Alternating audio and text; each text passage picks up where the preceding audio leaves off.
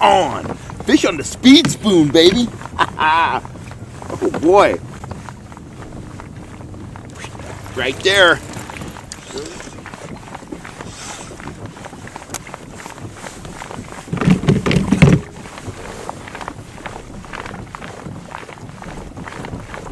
Fish on, right there. On the speed spoon. 15 feet deep. Get some marks on the screen. Drop that down to 15 feet and an instant hookup. And that There we go. Yes. An orange speed spoon. Oh, that's a good fish. Fish on, on the speed spoon. Ha ha. That feels like a good one. And there we go. Woo. That one came off the hook right there. Fish on right there, right on those marks. This is great. I love aggressive trolling. I found these fish. They're feeding on bait. They want to get it on. I'm pounding them. I'm trolling, you know, almost three miles an hour. And uh, it's been fish after fish after fish. Right there, there's another one. Yes! I love it. Right there, right on that uh, on that orange speed spoon. Oh, fish. I can't even get a cup of coffee here. Holy mackerel.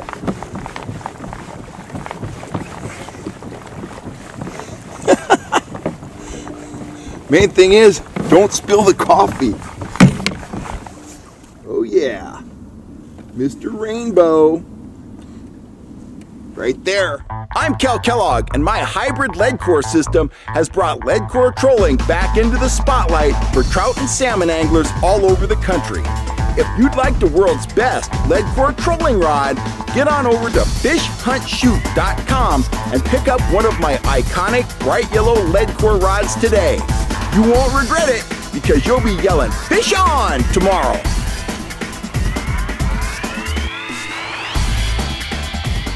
Howdy guys, Cal Kellogg here. I'm actually going to answer a viewer question and I apologize, I forgot the, the viewer's name. This was a week or two ago. Someone asked in the comments on one of the videos if I could talk a little bit about trout movement and uh, I absolutely can. And uh, and I'm going to do that right now. Lucy are out. Lucy and I are out on a walk, and we're heading back to the truck. Um, so, any discussion of trout movement needs to start with temperature.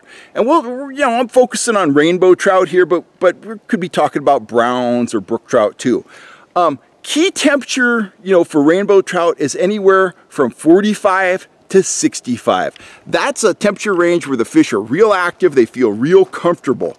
Um, 56 is the optimum temperature. That's where they would prefer to be, but if you're anywhere in that 45 to 65 degree zone on the surface, you could pretty much bet that there are gonna be trout on the surface of that lake or that body of water at some point during the day. Um, now, in terms of daily movement, something you can just kind of etch in stone, and uh, you know, I learned this from bass guys, but it definitely applies to trout too.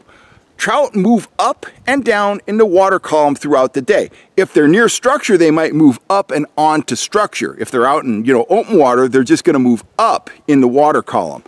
Um, they typically move up during periods of low light, and they drop back down during periods of, of high light. Um, other factors that can uh, that can influence, you know, trout movement are environmental factors. Um, my favorite factor, you've heard me talk about here a bunch on the channel, is wind. When, when we have wind or breeze and we see those ripples or those white caps on top the surface, that's really a visual manifestation of current. And that current extends down below the surface too. And that's that disturbance you'll see on, on top of your sonar unit when you're in choppy water or you're in white caps. What you're seeing there is swirling current. Trout love current. They know that that wind chop creates current. It introduces more oxygen to the water. It draws bait fish up into the current and the trout, they, they drop into that current as well to hunt and just to feel good.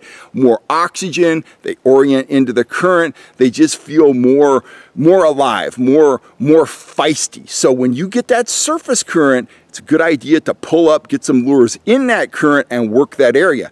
You also have to keep an eye open for what the wind is doing to the lake around you. And I'll illustrate this with a quick story. I've told this story before, but uh, if you hadn't heard it, here, here it goes again. I was up on Shasta fishing the Spring Derby with Paul Neeland in the fish sniffer boat. And we weren't struggling, we were picking some fish off, but uh, we noticed that you know the wind came up and we noticed behind a small point that there was a the wind had had formed current it formed an eddy and we could see surface debris including a pretty big stick just swirling around in maybe a 40 or 50 yard area. So we steered into that just to check it out. Paul was pulling a watermelon apex and I was pulling rig shad, so we were trolling pretty slow. Um, as soon as we got into that eddy area, the, the sonar unit lit, lit up with bait and hard marks, and we immediately started catching a bunch of fish. And I think we ended up seventh in the tournament that day, primarily because we explored that wind-driven eddy behind that point. It just attracted a bunch of fish. It only held up for about 40 minutes.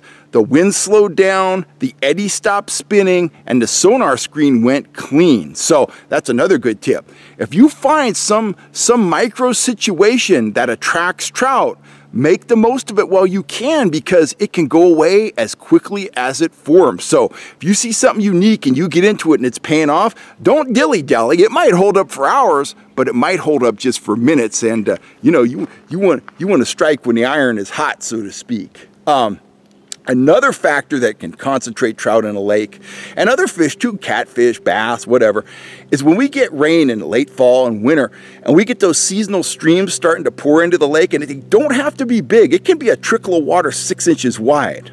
What that does is it introduces food to the, to the, to the main lake. It introduces oxygen, typically introduces a temperature change, and it also can introduce a color change. The water coming in might be muddy, and, and you'll catch fish around that muddy area in the cove where it's flowing in.